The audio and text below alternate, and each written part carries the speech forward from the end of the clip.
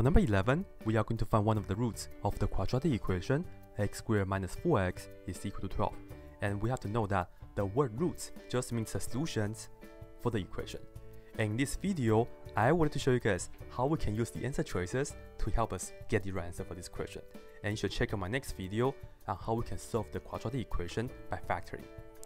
So here we have 5 possible x values, and what we need to do is pick one of them and plug it into the x value in the original equation, and then work out the computation. If we end up with 12, then we know that's the answer.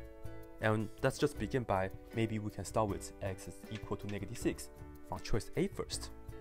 So what we need to do is just plug in negative 6 into this x and that x and then work out the computation to see if we end up with 12 or not.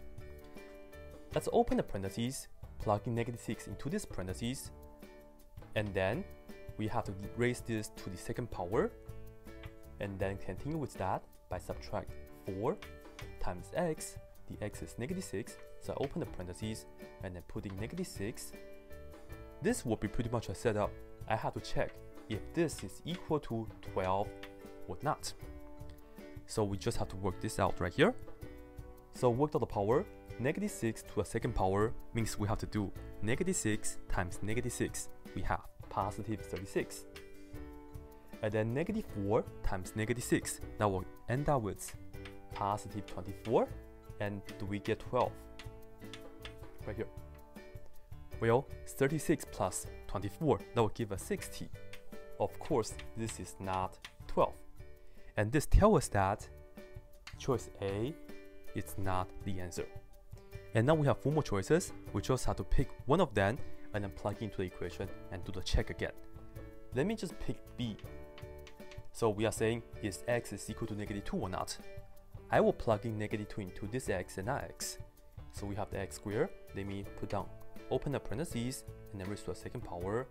Inside we have the negative 2. And this was for choice A.